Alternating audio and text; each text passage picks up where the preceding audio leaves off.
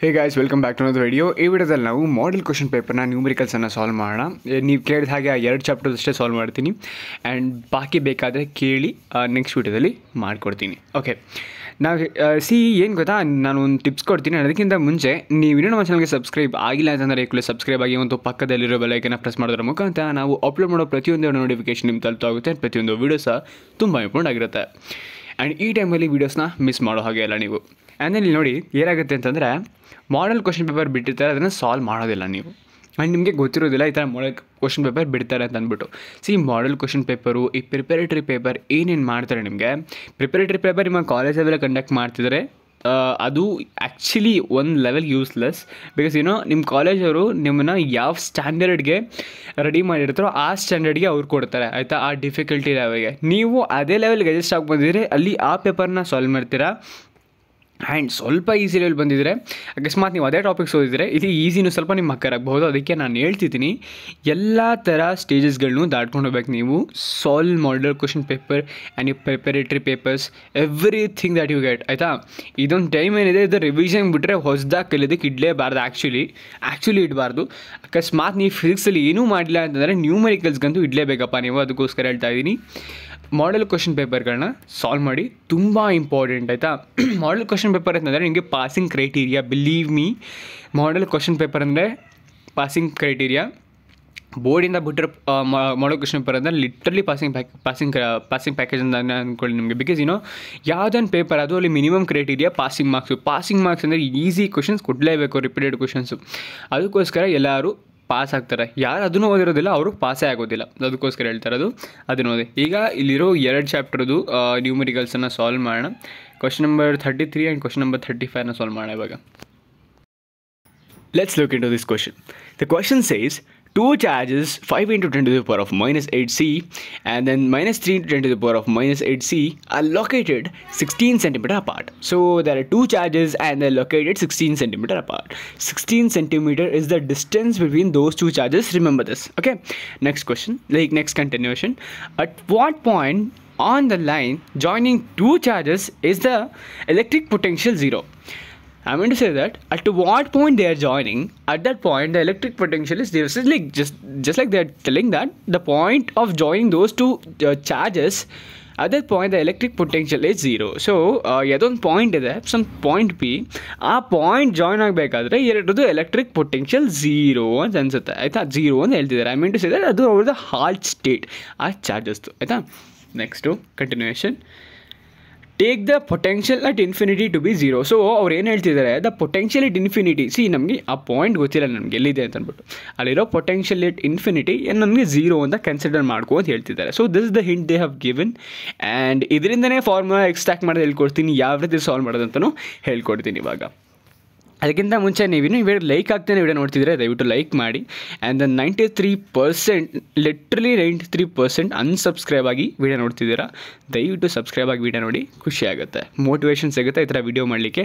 Definitely ನೀವು ಯಾವ question ಕೇಳ್ತೀರ, ಆ ಕ್ವಶನ್ಗೆ ವಿಡಿಯೋ ಮಾಡ್ತೀನಿ. ಇನ್ನು ಯಾವ ಪೇಪರ್ ಕೇಳ್ತೀರ ಪೇಪರ್ನ ಸಾಲ್ವ್ ಮಾಡೋಣ. ಓಕೆ ಸಿ ನಾನು ಇಲ್ಲಿ ಏನು ಬರ್ತಿದ್ದೀನಿ ಜ it's just a description like to understand the problem ಆಯಿತಾ? I tell you the exact funda see we have two charges ಅಲ್ವಾ?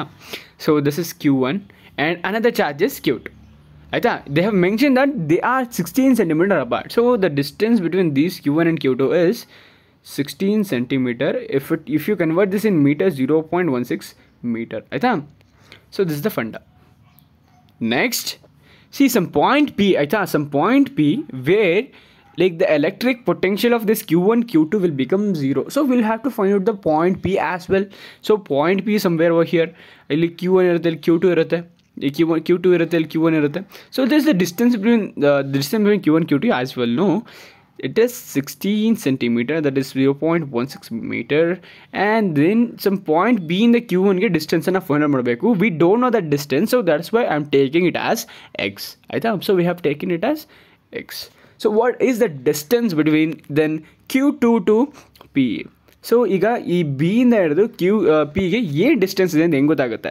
See we know that the distance we have consider is X ಅಂತಂತ. So ಇದನ್ನು X ಅಂತ ತೊಗೊಂಡಿದ್ದೀವಿ. So ಈ ಡಿಸ್ಟೆನ್ಸ್ನ ಯಾವ ರೀತಿ calculate ಮಾಡ್ತೀವಿ ಅಂತಂದರೆ ಸಿಂಪಲ್ ಈ ಎಕ್ಸು ಈ ಸಿಕ್ಸ್ಟೀನ್ಗಿಂತ ದೊಡ್ಡದು ಅಂತ ಅನ್ಸುತ್ತೋ ಅನ್ಸಲ್ವ? ಬಿಕಾಸ್ ಏನೋ point P you don't know that point P it might be like after this or before this so it is a huge like ನಿಮ್ಗೆ ಮುಂಚೆ ಇರೋ ಲೆಂತ್ಗಿಂತನೂ ಸ್ವಲ್ಪ ದೊಡ್ಡ ಲೆಂತ್ ಇದು so what you suppose to do as you have to consider that X and you have to subtract the given like distance in between those charges okay minus 0.16 meter ಆಯ್ತಾ so this is the uh, distance between q2 to p so this is a part of question is done and then very simple part the question ಆಯ್ತಾ next see ಇಲ್ಲಿ uh, what they have told us consider consider take take the potential at infinity to be 0 ಅಂತ ಹೇಳಿದ್ದಾರೆ.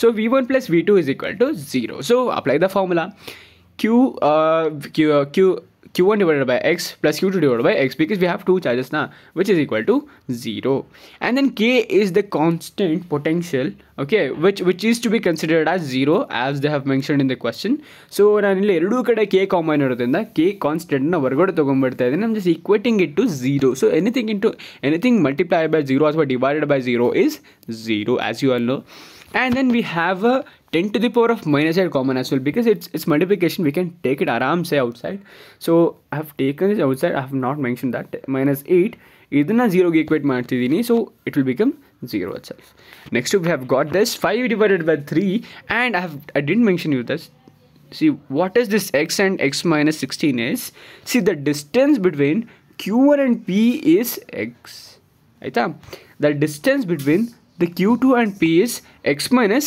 0.16 ಆಯ್ತಾ so this is what uh, the x and x minus 16 is.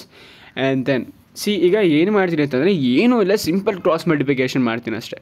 Five into X X minus zero point one six and then three into X ಆಯಿತಾ? Divided by X into x minus 0.16. So 5 into x it is 5x and then 5 into 0.16 is 0.8 minus 3 into x is 3x divided by x into x minus 0.16 is equal to 0. See, denominator na ಆರಾಮಾಗಿ 0 equate ಮಾಡ್ಬೋದು so I have equated it to 0 ಆಯಿತಾ? Next what have left out here is five ಎಕ್ಸಲ್ಲಿ three X ಹೋದರೆ next mix next ಮಿಕ್ಕತ್ತೆ two X ಮಿಕ್ಕತ್ತೆ minus zero point eight ಆಯಿತಾ? ಈ zero point eight ಹಾಗೆ ಇಲ್ಲಿ ಈ ಝೀರೋ ಪಾಯಿಂಟ್ ಏಯ್ಟ್ನ ಆ ಕಡೆ ಕಳಿಸ್ಬಿಟ್ಟು ಸಿ ಇದನ್ನೇನು ಮಾಡಿದ್ದೀನಿ ಅಂತಂದರೆ very simple two x is equal to zero point eight x is equal to zero point eight divided by two two ones are two fours are so it is x is equal to zero point four ಸಿಕ್ತು zero point four in the sense forty centimeter ಆಯಿತಾ? Yes we got a point so ಈಗ ನಮಗೆ X value ಸಿಕ್ಕಿದೆ. X is forty centimetre ನಾವು derive ಮಾಡಿದ formula ಏನು? Like the distance formula x minus zero point one six ಅಥವಾ X minus sixteen ಅಲ್ವಾ? So x is we forty and then the the distance we have got it sixteen forty minus sixteen is twenty four so which is the required answer ಅಷ್ಟೇ. Twenty four centimetre ಮುಂದೆ ಹೋದಾಗ so ಅಲ್ಲಿ electric potential zero ಆಗುತ್ತೆ. ಎರಡು charge ಆ ಪಾಯಿಂಟಲ್ಲಿ meet ಆಗುತ್ತೆ ಅಂತಂತ. Next calculate the resonant frequency of a series L C R circuit see ಈ ಥರ ಕ್ವಶನ್ಸು ತುಂಬ ಡಿಡ್ಲಿ ಈಸಿ ಇರ್ತವೆ. ಆ್ಯಂಡ್ ದೆನ್ ಈ ಕ್ವಶನ್ಸಲ್ಲಿ direct formula and direct substitution see L is equal to two and then C is equal to thirty two microfarad and then R is equal to ten ohm ಆಯಿತಾ? ಇಷ್ಟಿದೆ. What is the quality factor ಅಂತ ಕೇಳಿದ್ದಾರೆ.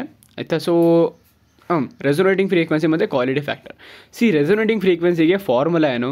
One divided by square root of L into C L value ಏನು? Two into two into thirty two into ten to the power of minus six ಆಯಿತಾ ಬರೀ two ಇದೆ? And then ನಿಮ್ಮ see value capacity value thirty two into ten to the power of minus six ಇದೆ. So ಇದನ್ನು substitute ಮಾಡಿದ್ರೆ see two into thirty two sixty four sixty four ಯಾವುದಾದ್ರು root eight root so eight ಅಲ್ಲೇ ಇರುತ್ತೆ. And then six ಸಿಕ್ಸ್ನ ರೂಟಿಂದ ಹೊರಗಡೆ ತೆಗೆದ್ರೆ ನಿಮಗೆ ತ್ರೀ ಆಗುತ್ತೆ because divided by two okay what you get eight into ten to the power of minus three ಇದನ್ನು ಸಬ್ಸ್ಟಿಟ್ಯೂಟ್ ಮಾಡಿದ್ರೆ ನಿಮಗೆ one two five R A D per second ಸಿಗುತ್ತೆ. Next quality ಫ್ಯಾಕ್ಟರ್ಗೆ simple Q is equal to one divided by R square root of L divided by C one divide what is the resistance ten and then L is two ಎಲ್ಲ direct ಸಬ್ಸ್ಟಿಟ್ಯೂಷನ್ನು formula ಹಾಕಿದ್ರೆ ಸಿಕ್ಕೋಗ್ಬಿಡುತ್ತೆ answer so thus is the solution for that question thanks for watching happy learning